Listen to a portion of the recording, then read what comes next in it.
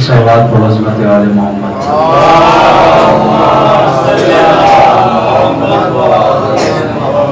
इससे बेहतरीन सलवात को हजमत आल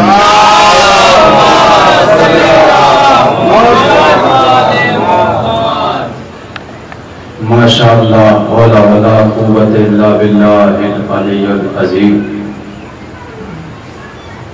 अऊज़ु बिल्लाहि मिनश शैतानिर रजीम। बिस्मिल्लाहिर्रहमानिर्रहीम रब्बि यस्सिर वला तुअस्सिर वतम्मिम बिल खैर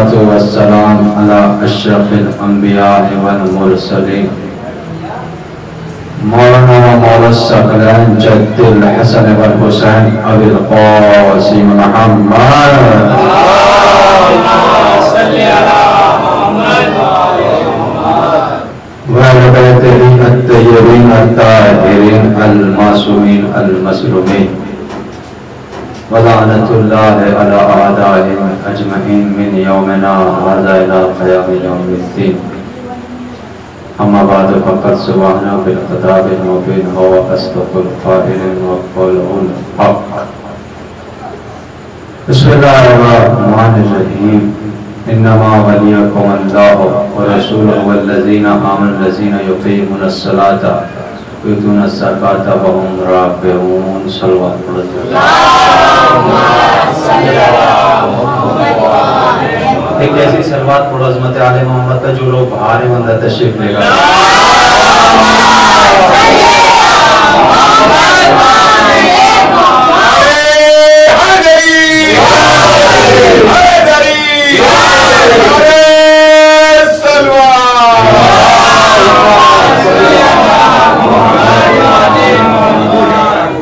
एक बेहतरीन हजमत आले मोहम्मद आगे आ जाए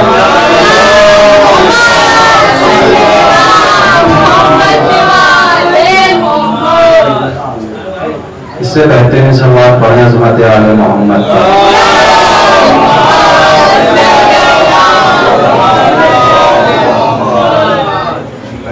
अजीदान गिरामी बुजुर्गान अज़ीज़।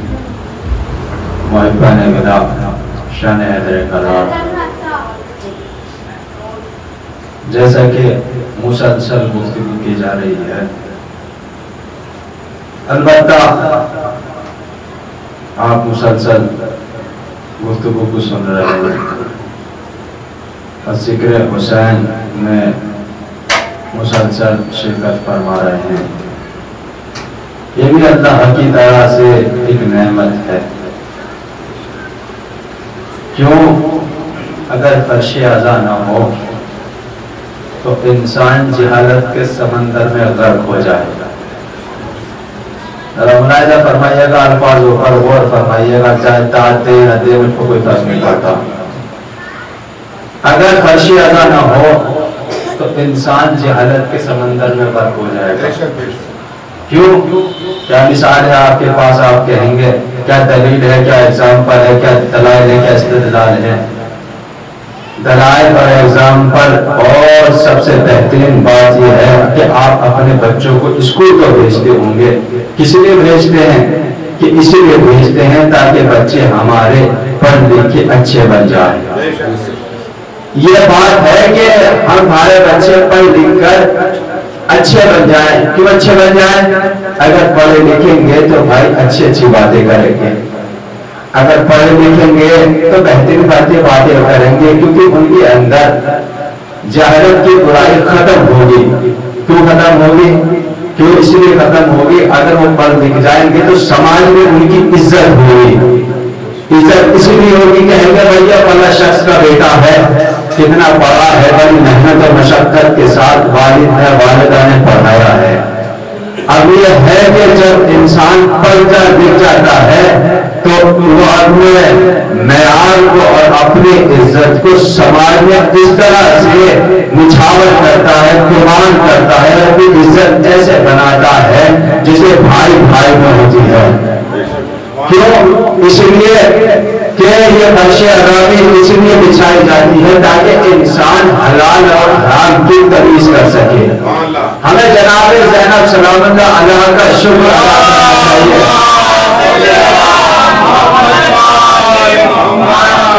कि उन्होंने हमें बेहतरीन नेमत और बेहतरीन तोहफे से नवाजा। अल्लाह चाहते हैं अगर ये तोहफा न होता जाने तुम कहाँ होते हम कहाँ होते। क्योंकि ये एक ऐसा ज़िक्र है जो इंसानों को मिलाता है। ये ऐसा ज़िक्र है जो इंसानों के दिल को दिल से मुतसिल करता है। एक ऐसा ज़िक्र है जो ऐसा ज़िक्र है जो इंसान को इंसानियत की मदद करता है। आप दूसरे मदद पे जाके देख लीजिए। अफरा तफरी मची हुई है, उन्हें कोई समझाने वाला ही नहीं होगा भी तो इधर किधर की बातें करता होगा, नौ दो ग्यारह, बस। इसी तरह से कि ये हमारे पास एक बेहतरीन दौलत है और एक बेहतरीन सरफराजी और कमाल और बुलंदी है कि जो नाम फातिमा जरा सलाम की बेटी ने हमें इनायत और तोहफे के तौर पर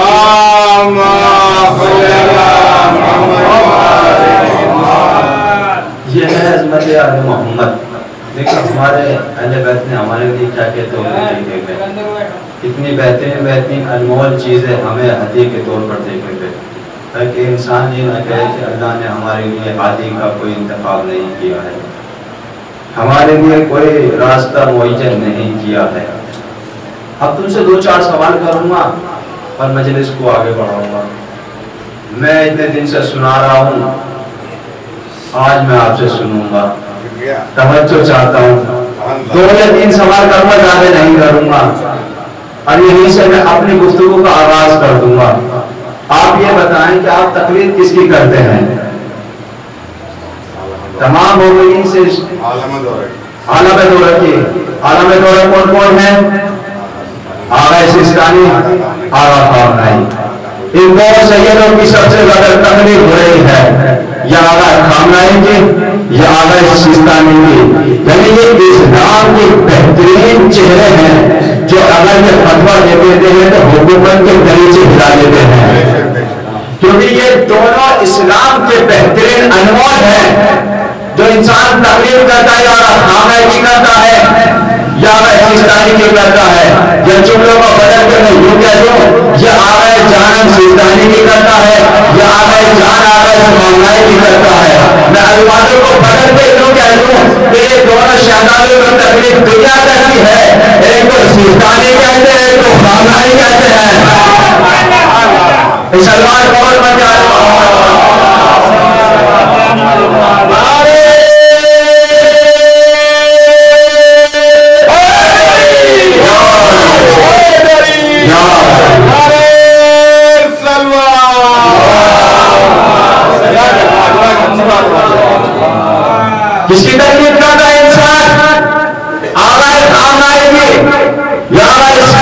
की अल्लाह का शुक्र है, दोनों के नाम भी एक ही जैसे हैं।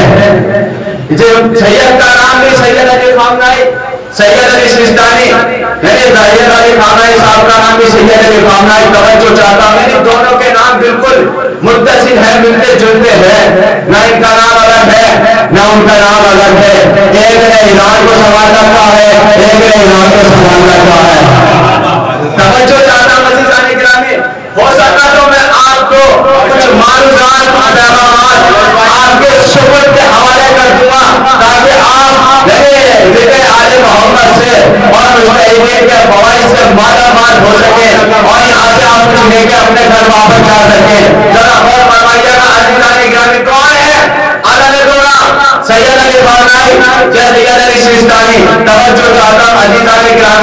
मैं आपसे दो चार सवाल और भैया ज़्यादा पाँच सवाल नहीं करूँगा। मैं एक सवाल करूँगा जरा मुराजा फरमाइएगा कि ईद कुर्बान के दिन।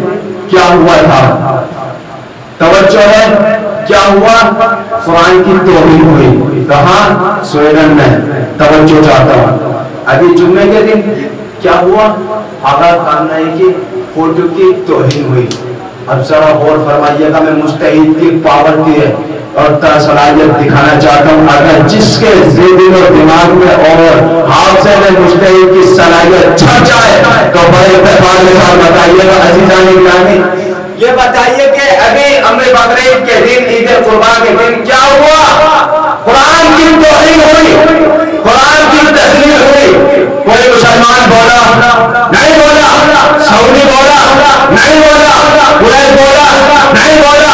यानी जितने भी इस्लामिक ममालिक है, कोई नहीं बोला, चाहे इसमें तुर्की हो, चाहे सीरिया की हुकूमत हो, चाहे पाकिस्तान की हुकूमत है, चाहे कोई भी मुल्क की हुकूमत हो चाहे कोई कुरान मजीद की तोहिन हुई, कोई नहीं बोला, सिवाय राजुल्ला काम नहीं है आगाया काम नहीं है अभी कुछ देर पहले, अभी पिछले इसी जुम्मे को आगाया की पोस्ट की तस्वीर की, पिक की, तोहिन की गई। कोई बोला, नहीं बोला?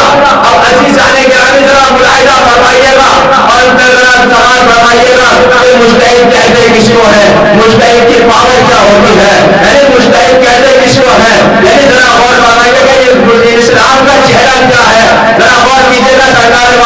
गुजरे वाला जनाबे वाला जरा मुलाहिदा फरमाइएगा अज़ीज़ आने के जब कुरान की तोहिन होए, कोई शख्स नहीं बोला, कोई शख्स नहीं बोला, चाहे दूसरे मुल्क की हुकूमत हो, कोई नहीं बोली, बल्कि सब खामोशी का रोजा रखे हुए सब अपने अपने घरों में, अपने अपने दुकानों में, अपने अपने बैठकों में बैठे रहे और अपने अपने अड्डों में खामोशी के साथ बैठे रहे। कोई बोला, नहीं बोला हमें खामनाई की तोहिन की गई कोई बोला नहीं बोला बल्कि आयुल्ला खामनाई बोले जब पुराने मजीद की तोहिन हुए इसका मतलब हुआ कि दुनिया में रहबर कोई नहीं है सिवाय आगाए खामनाई है आगाए खामनाई के क्यों आगा ने कहा कि तुम्हें गैरत शर्म नहीं आती। तुम्हारे दिल दिमाग में ताले भर चुके हैं। तुम्हें हराम निगाहें तुम्हारे दिल दिमाग पर मुसलत हो चुकी हैं। जब इंसान हराम निगाह खाता है तो उसके गले में जाती है अलग में जाती है अलग से कोई पेट में आता है, पेट से फिर वो खून बनता है, खून से फिर वो असर दिखाता है। इसका मतलब ये हुआ कि ये जो कुरान की तोहेन कर रहे हैं, ये सिर्फ़ वो है जो पैगंबर इस्लाम की मुखालफत किया करते थे, जो पैगंबर इस्लाम से नफरत किया करते थे, जो पैगंबर इस्लाम की तोहिन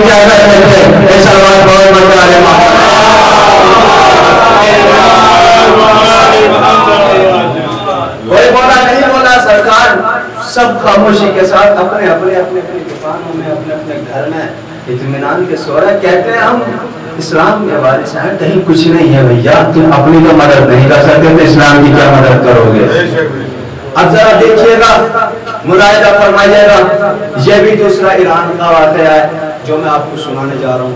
पैगंबर इस्लाम हज़रत मोहम्मद मुस्तफ़ा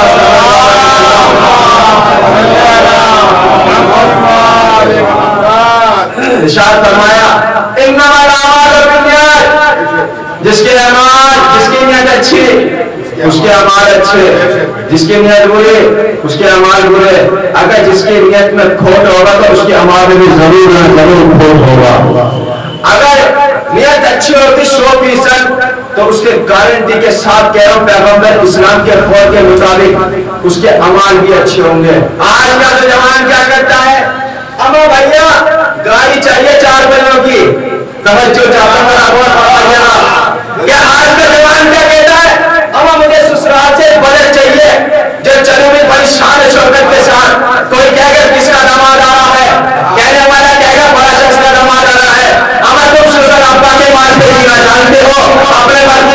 नहीं जानते हो तवज्जो चाहता आप गौर कीजिएगा मैं आपको कुछ बातें कुछ मालूमात पैगाम पैगंबर इस्लाम की हदीस के मुताबिक सुनाना चाहता हूँ और आपको आपके दिलो दिमाग तक पैगंबर इस्लाम की हदीस से इस कुछ मालूमात निकाल कर आपके दिल को मुनवर करना चाहता हूँ ताकि आप यहाँ से कुछ लेकर जाए पैगंबर ने क्या फरमाया जिसकी नियत अच्छी होगी, उसके अमाल अच्छे होंगे। जिसकी नियत बुरी होगी, उसके अमाल बुरे होंगे। कहते हैं ना, जैसे बोगे, वैसे काटोगे। जैसे बोगे, वैसा काटोगे। इंसान ये कहता है कि मुझे ससुराल से गाड़ी चाहिए, या महनार चाहिए, या बिलोरा चाहिए, या फिर मुझे बुलेट चाहिए, या फिर मुझे आबादी चाहिए, या फिर मुझे पल्सर चाहिए, या मुझको फिर आपके नाम है।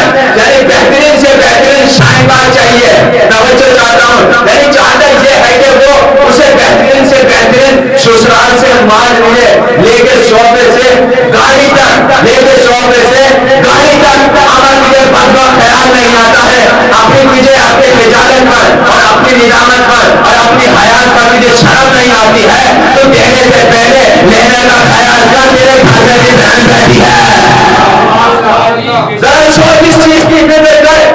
जैसे मांग रहा है, भी मैंने कहा था, जैसा बोगे वैसा काटोगे। अगर खेत में आप अनाज बोगे सरकार तो अनाज ही काटोगे, मुझे नहीं काटने के वो तवज्जो चाहता हूँ।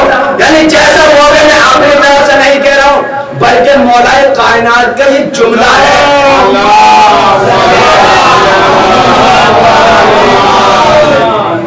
कौन मत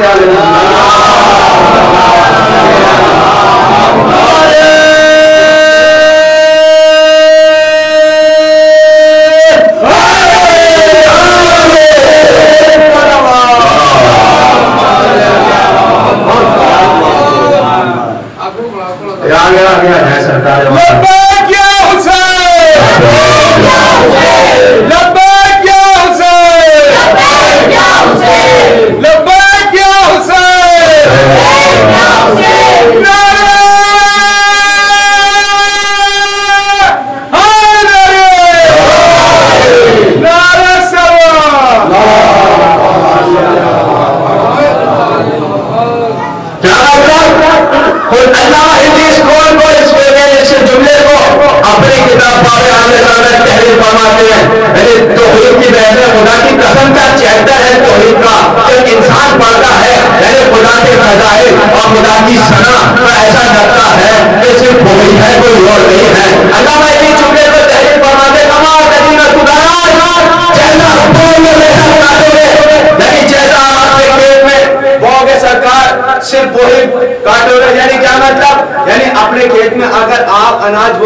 अनाज ही काटोगे मुझे नहीं काटने के हो। अगर आप अपने खेत में ज्वार बोगे तो ज्वार ही काटोगे, गन्ना नहीं काटने के हो। क्यों? ये इसलिए जैसा इंसान बोलता है, वैसा ही काटता है। जैसा बोलता है, वैसा ही काटता है। मगर ये हज़रत इंसान को देखिए और आज आदम को देखिए, क्या बेहतरीन बेहतरीन, क्या लंबे लेके घूमता रहता है। अमा मुझे सुसर अब्बा बहुत खुश देंगे। अमा मुझे सुसर अब्बा बहुत खुश देंगे। अमा मुझे सुसर अब्बा बहुत खुश देंगे। अमा मुझे सुसर अब्बा बहुत खुश देंगे। अगर आज चुप रह गए मैं इसी बात को बार बार रिपीट करता रहूँगा। मैं आगे नहीं बढ़ देता हूँ। जरा फरमाइए अगर बात से बात मिल जाए। तो बड़े इंतज़ार के साथ बताइएगा। कहीं जब इंसान अपने पहुँचता है तो वालिदा रिश्ता लेके जाती है। बड़ा घर बड़ा के घर पे कि हमारे का वहाँ रिश्ता कर दिया है? तो अज़ीज़ आने के लड़का ये डिमांड करने लगता है और लड़की की बात ये सब कुछ तय करने लगती है। देखो, हम लड़के के लिए भेजे देंगे देखिए, लड़के के लिए ऐसी होनी चाहिए। लड़की के लिए बैग होना चाहिए। लड़की के लिए गाड़ी होनी चाहिए। लड़की के लिए बेहतरीन से बेहतरीन चीज़ होनी चाहिए। देखिए, लड़की के लिए कम से कम दस सोलह सोलह सोलह होना चाहिए। और लड़की के लिए कम से कम कम से चांदी होनी चाहिए। अभी जाने के आगे लड़की का बाप देने से पहले ही मर जाएगा। अरे मैं क्या इसको बेटी को ये तो बन के लिए बेटी देने के लिए नहीं आई है। बल्कि ये छोटा बाकी करने के लिए आई है। बल्कि ये लड़की लेने के लिए नहीं आई है।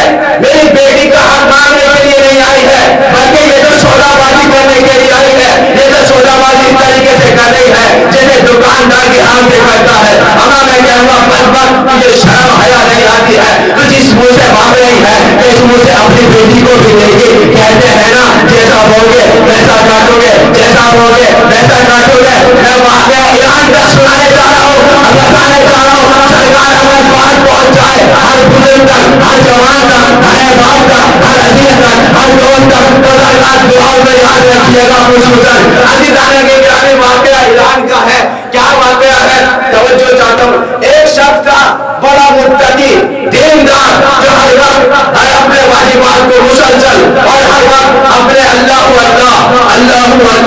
अल्लाह अल्लाह। मेरे खुदा का ज़िक्र करता रहता था, अल्लाह की सना करता रहता था, अल्लाह की तोसीम करता रहता था, अल्लाह की मना करता रहता था सिर्फ़ उसका ज़िक्र करता रहता था सिर्फ़ उसका ज़िक्र करता रहता था। उसकी माँ ने चाहा कि मैं अपने बेटे का रिश्ता कर दूँ, जल्दी से अपने घर में दुल्हन लेकर आ जाऊँ, ताकि मैं भी अपनी ज़िम्मेदारी से मुकम्मल हो जाऊँ, ताकि मैं भी अपने पद से अलग हो जाऊँ। जरा गौर फरमाइएगा सरकारी वाला। उसकी वालिदा गई किसी के घर पर। वो लड़की की माँ थी वो लड़की की माँ थी मालदार। तवज्जो, लड़की की माँ थी मालदार। नहीं मैं इस बात को फिर बदल के तो कहूँगा माँ के ख्याल थे बिल्कुल कभी। यानी लड़का जो था बेचारा गरीब था, अच्छे खानदान से नहीं था, बल्कि उसके हालात नॉर्मल थे। मैं यूँ कह दूँ, गाँव की जबान में बिल्कुल बौदा था। यानी मैं कह हालात से बिल्कुल कमज़ोर था। तो वालिदा लेके गई उसका रिश्ता ले जाने के बाद कहा कि हमारे बेटे से अपनी बेटी का अर्थ कर दीजिए, रिश्ता कर दीजिए फिर मैं अपने इज़्ज़त के साथ आऊँगी, आपकी बेटी को ब्याह के अपने घर वापस ले जाऊँगी। तो लड़के की माँ, लड़की की माँ ने कहा कि मैं हर किसी नहीं करूँगी। बल्कि तुम्हारा बेटा कहता ही क्या है? इधर करता फिरता रहता सिर्फ़ अल्लाह हो अल्लाह हो अल्लाह हो करता रहता है, मेरी नमाज़ पढ़ता रहता है, मेरे सुबह की नमाज़ अव्वल वक्त पढ़ता है जोहर की अव्वल वक्त पर अदा करता है, नमाज़ नमाज़ असर अव्वल वक्त पर अदा करता है, नमाज़ मगरिब और अव्वल वक्त पर अदा करता है, जब रमज़ान का महीना आता है तो रोज़े मुकम्मल करता रहता है। घर के वाजिबात को अव्वल वक्त अदा करता रहता है। मगर करता कुछ नहीं है, मगर कोई करता कुछ नहीं है। ना आपके बेटे के पास दौलत है, ना आपके बेटे के पास गाड़ी है, ना आपके बेटे के पास बंगला है, ना आपके बेटे के पास बेहतरीन से रहने के लिए सही तरीके से अच्छा सा घर भी नहीं है, ताकि मेरी बेटी के बेटी आराम से रह सके, ताकि मेरी बेटी आराम से रह सके। तो अजीजानी ग्रामी उस खातून ने मैंने कर दिया कहते इसके पास दौलत नहीं है। इसके पास दौलत नहीं है। इसके पास दौलत नहीं है। तो कुछ दिन के बाद एक रिश्ता और आया। वो रिश्ता ऐसा आया जो मकान था, धोखेबाज था। बिल्कुल हर किसी को धोखा देता रहता था। सिर्फ़ ये था कि उसके पास थोड़ा सा पैसा था। क्या उसके पास क्या था?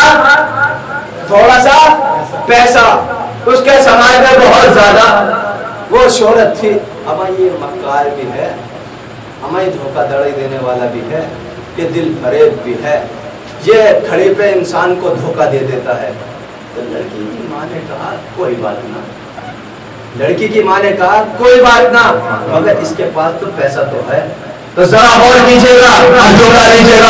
अरे लड़की की माँ ने कहा तो भाई ने कहता है, इसके पास पैसा है सब कुछ तो है मगर ये बुनियादी कहता है, सब कुछ करता है। अब जुमला सुनेगा तो लड़की की माँ ने कहा कि ये अल्लाह इसे माफ़ कर देगा। जितने भी इसने गुनाह किए हैं, सब इसको अल्लाह माफ़ कर देगा। इसने जितने भी गुनाह किए सब अल्लाह इसको माफ़ कर देगा। तो अजी जाने के आने घर में से किसी खातून ने कहा कि अल्लाह इसको माफ़ कर सकता है अल्लाह उसको दौलत नहीं दे सकता। बहुत अच्छा बहुत में प्यारे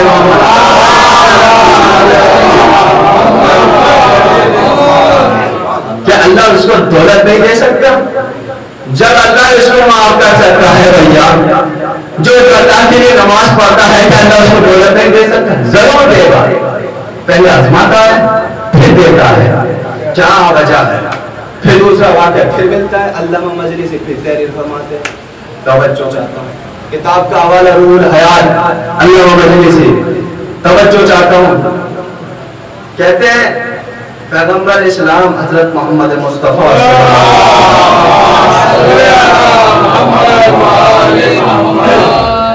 फरमाते हैं, जिसकी नीयत अच्छी, उसकी अमानत अच्छी। एक चोर था। वाकई में बादशाह सलामत के दौर का है।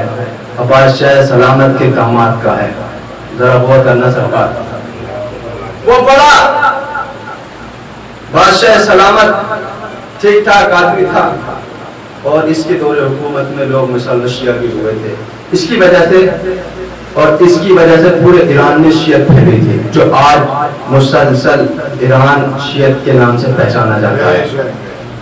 कहता है अल्लामा मजलिस ने इस, बात को तहरीर किया। एक चोर था, मुसलसल चोरी क्या करता था? उसका काम ही था डकैती करना। कभी इसके डग्गा मारी करी, कभी उससे करी, कभी इसके करी। अपना खर्चा मुसलसल ही चलाता रहता था।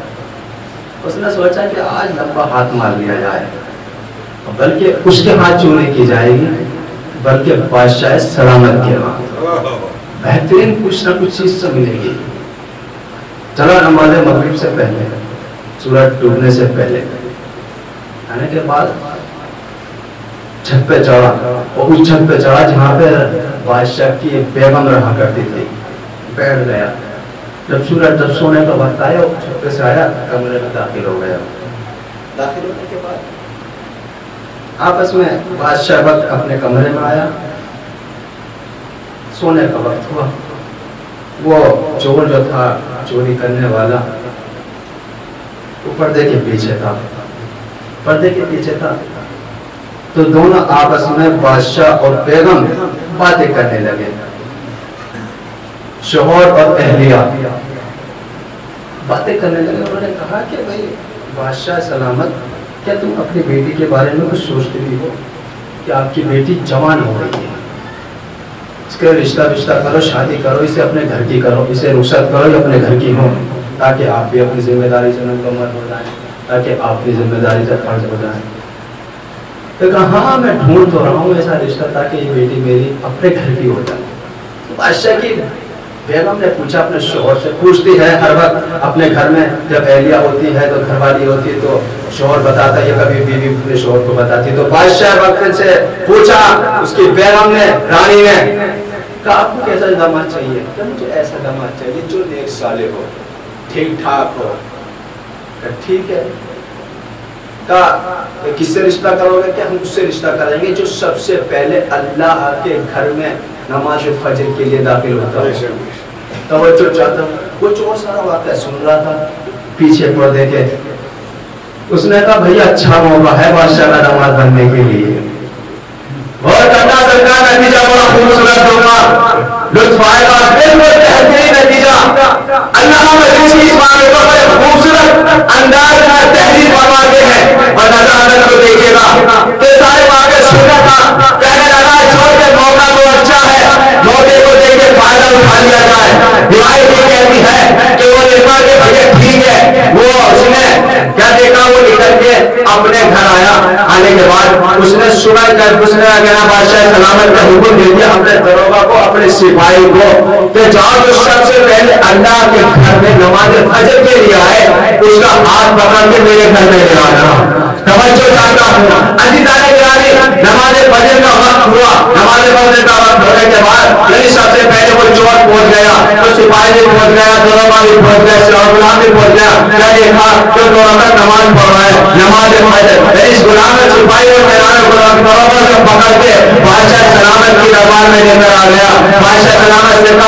कहा सरकार जिसमें नमाज़ फजर सबसे पहले नमाज़ सुबह और जिसमें नमाज़ अदा की थी अजीत आने के बाद बादशाह गुलाम को कहा दरोगा से कि जाओ, इसे हिला दिलाओ इसे पहनाओ, इसे अच्छा लिबास पहनाओ फिर इसे अपनी बेटी का हाथ इसके हाथ में दे देंगे, अपनी बेटी का हाथ इसके हाथ में दे देंगे, अपनी बेटी का हाथ इसके हाथ में दे देंगे, उसे मिलाया पहनाया